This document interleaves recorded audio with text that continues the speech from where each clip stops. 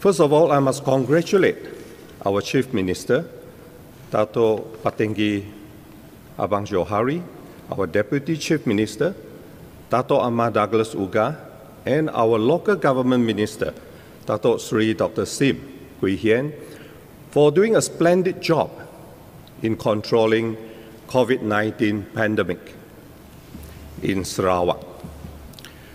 Much respect and kudos to the Sarawak Disaster Management Committee team and our brave doctors, nurses, and the medic medical support groups who are fighting COVID 19 on a daily basis from the front lines. As COVID 19 rages on, we in Sarawak are grateful that we do not have as many cases in, as in Sabah and West Malaysia. We pray that such a situation will continue for us Sarawakians. Recently, I went to a mass swabbing of COVID 19 Kampong Haji Baki to give my moral support for the frontliners and the people who voluntarily came forward to be tested.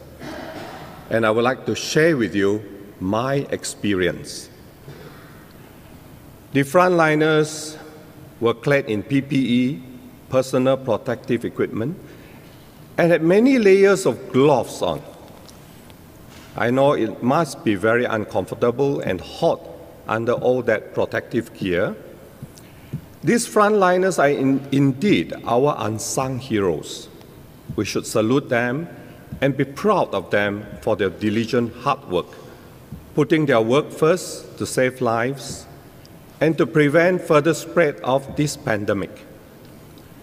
The PPE equipment they brought into work to lessen the burden of the people shows their high commitment to their jobs. They were there just because one or two persons started to be tested positive for COVID. In my own experience, I feel so touched and appreciative of what all the frontliners and volunteers have been doing for my Kampong Haji Baki community.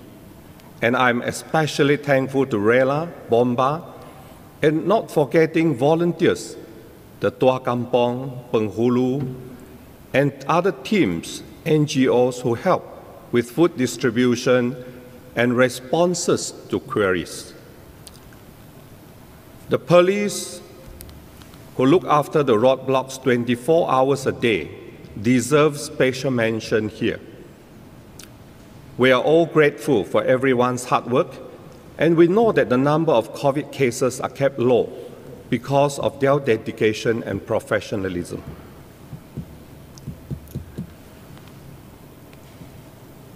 I must admit, after hearing what our members from uh, Pending, honorable members from Pending, Kota Sentosa, and, uh, and uh, from Tanjong Batu.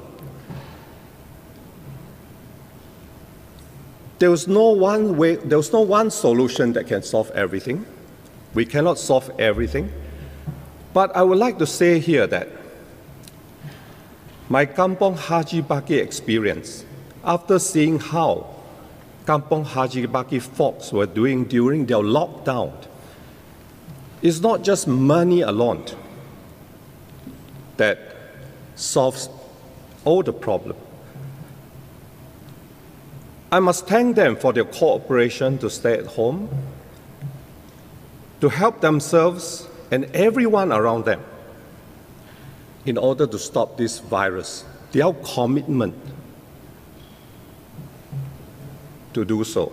I also wish to take the opportunity to thank the many kind hearted people in Kuching who have helped by contributing in cash and in kind to assist the people in Kampong Haji Baki.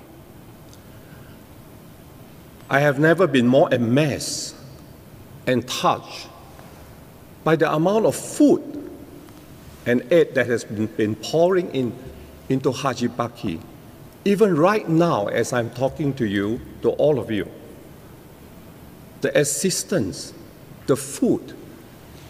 And so the people of Hajibaki is very lucky to have all this help. Apart from help from the government. And in these 14 days, there is no money from the government to be given to the people. But instead, and because there was no money being given to the people, the community, the entire community in Kuching, did their very best. They cared, they showed that they cared and they loved the people in Haji Baki. They came out with all kinds of food to help feed the whole of Haji Baki, 4,200 people.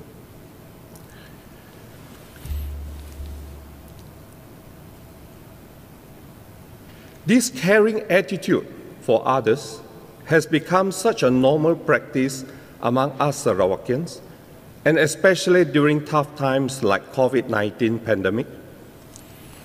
We Sarawakians have certainly developed a deep-seated culture of looking one after another, regardless of race or religion. And it is, it is something we should continue to nurture value, and strive for. And with that, I can't express how important these temporary measures for reducing the impact of coronavirus is uh, at these uh, crucial times. And I support this, uh, uh this bill. Thank you very much, Dr. Speaker.